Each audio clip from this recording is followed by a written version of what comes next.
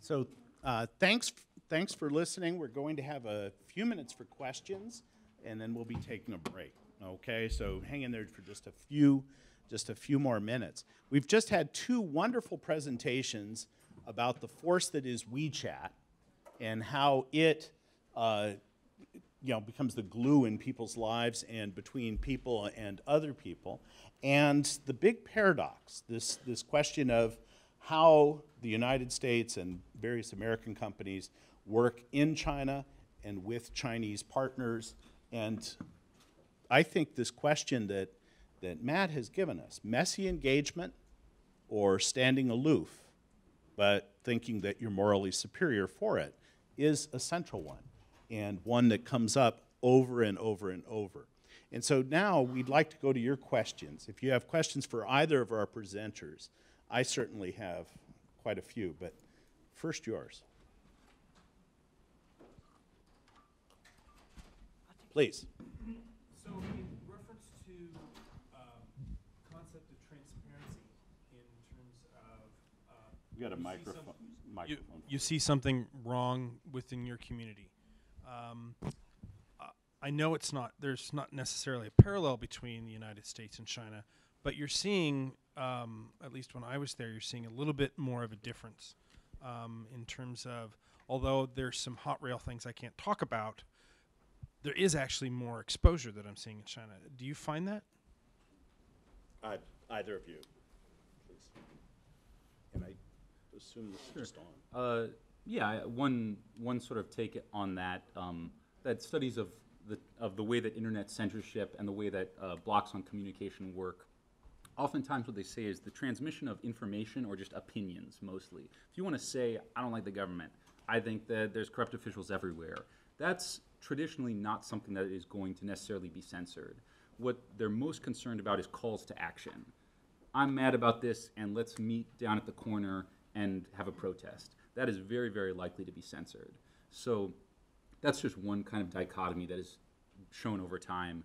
I would say, yeah, the the discussion, the conversation, the transparency around just issues existing is at an all-time high or near an all-time high, but the ability to organize around that or the ability to attack what you sort of describe as like the you know the third rails, um, specifically questioning anything related to the supreme leader Xi Jinping, um, or talking on a couple of sense very very sensitive issues. That's still very hot button. But if you want to complain about you know a trash pileup in your neighborhood, that's usually that, that's gonna that's gonna flow relatively freely. So in terms of uh, the Chinese uh, the situation, I think there's always this uh, kind of two step forward and one step backward. And I think that is uh, in a way that is uh, China is uh, over the past 30 some years is uh, still follow that model. And I, I think at this point it's kind of one step backward at the, at the moment.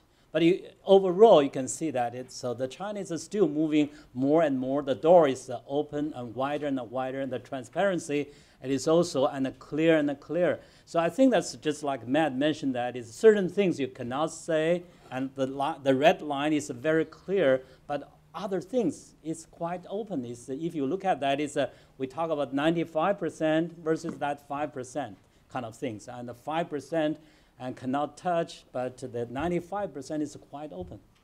Yeah, the censorship with regard to leaders and you know, Falun Gong, things like that, is absolute, right? Uh, but people find ways even around that.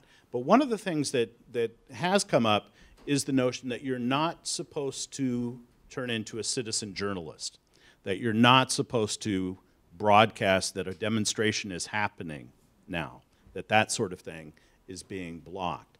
But complaining about generic corruption, generic pollution, something like that, all the time, everywhere. Next question, please. With regards to like rural Chinese, uh, how has the Chinese government or industry done a good job or lack thereof of creating infrastructure, communication, economic prosperity for those people who don't necessarily live in urban areas? Either of you. Um, sure. Yeah. Uh, I mean, one of the main things has been not necessarily creating all the infrastructure in the countryside, but there's just been such an outflow of these immigrants to the cities. So in a lot of ways, rural issues happen in the cities. One of the big questions is integrating migrants who left their hometown into city social services. Are they able to send their kids to a school in Beijing if they went there to work? Are they able to use a hospital? So a lot of those issues happen there, just in terms of internet connectivity and infrastructure. Um, uh, electricity, electrification has reached 100% pretty much, which, you know, that sounds kind of like a no-brainer. But I, I went, in 2015, I went to a village where was actually the last village in this province of Sichuan to get electricity, the first, first time they're getting TV and stuff like that. And that's pretty game-changing. You also see Chinese internet companies having a very big emphasis on um, getting their e-commerce platforms out to the countryside. Taobao, the Alibaba platform, is making a big push into the countryside to try to bring those people online as consumers and producers, letting them, you know, sell your organic little village vegetables to people in the city who want that kind of down-to-earth uh, veggie box or whatever. Um, so, you know, a lot to unpack there, but those are a couple areas. I I think that is really the critical thing is the relativity. So if you look at the China and uh, uh, the rural and versus the urban development, uh, uh, at this point, is I mean, there's a still large kind of kind of divide, dividing, and uh, in the rural area, there's a lot of things to catch on, and uh, how long that will take, and no one can tell. And th- there's uh, so much problems and issues facing the peasants, the farmers in those rural areas. But if you compare with this uh, 38 years uh, to see how those people are changing, how the condition has been changed, that will, that will be a tremendous. So there's a long way to go, but in the same time, and there's a lot of changes has been done. Yeah, this big initiative, broadband to every village, you know, this sort of thing. You've heard electricity, electricity just getting in in some places, but putting in broadband, particularly with educational emphasis, you know, trying to connect people to increase opportunities for those folks out there. Next question, uh, please. I think that's me. Um, I am curious about data privacy and retention because to me, with Facebook, the fact that my post got censored is less interesting to me than the fact that Facebook retains information about the fact that I tried to post something they wanted to censor, and maybe they can either sell or give that information. And so, w- what's the divide like with regard to that? Because that's an issue on both sides of that divide. Yeah, and so, and so part of that question having to do with the question of a social credit ranking mm-hmm. based on your participation in social media. I mean, on the whole, I'd say data privacy very, very poor over there. Um, a lot of examples of uh, just being able to buy information online and stuff like that. So that's very poor. They just implemented a new cybersecurity law that's supposed to help uh, improve data privacy. The law is also supposed to help the government assert more control and probably give government access to some of that data and keep the data stored over there.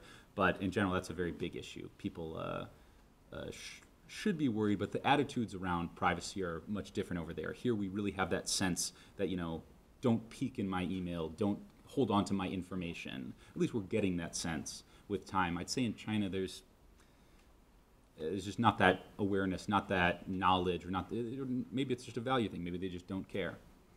Data privacy is uh, everywhere. It's, uh, in U.S., uh, the, the privacy is, uh, I mean, the companies can uh, easily sell those uh, information to other people for purchasing purposes. For China and those privacies, particularly dealing with the political issues, that can be uh, kind of in danger. So definitely it's a, it's a major concern over there. Yeah, and having the companies doing business in China have to store the data there, right? That that makes a big difference. Maybe one last question.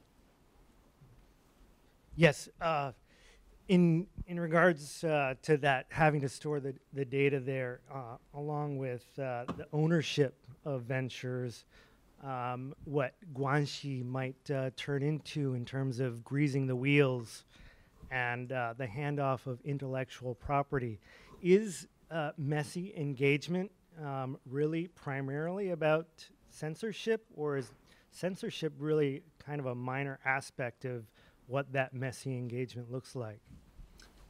Yeah, I'd say that's a very good point. Um, censorship is very much on the minds of people who are looking at the Silicon Valley tech companies from a you know moral, ethical perspective.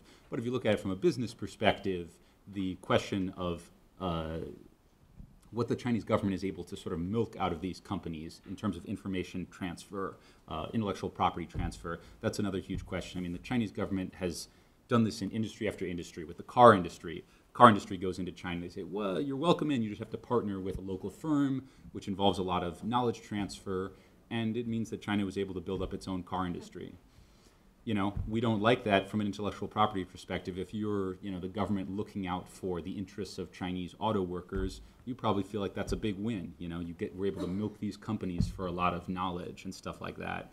In the technological area, it's I don't know, it's a lot messier because there's so much interplay of people and so much of the uh, so much of the information, at least on a macro level, in terms of trends and ideas, is broadcast publicly. Um, but yeah, that's from a trade secrets perspective. Uh, the government is probably looking just to squeeze every last ounce out of these companies. China has a lot of problems in intellectual property law, but I think that China has been changed drastically in terms of uh, setting up the law. And uh, nowadays, uh, just came back from China, and uh, so the, the, the, the friend told me that uh, everything they are doing is uh, you need. Uh, you need to uh, you need to apply for the uh, the, the, the certification. I mean, all kinds of things. So I can see that the changes is coming and coming quickly. Okay, well, thanks to our presenters for a wonderful, wonderful set of presentations.